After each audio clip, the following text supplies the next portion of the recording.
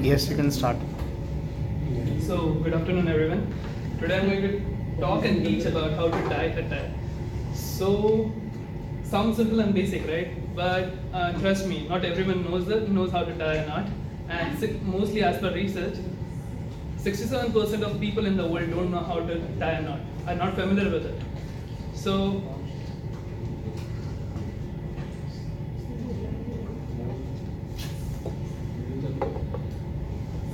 Please, please, carry on.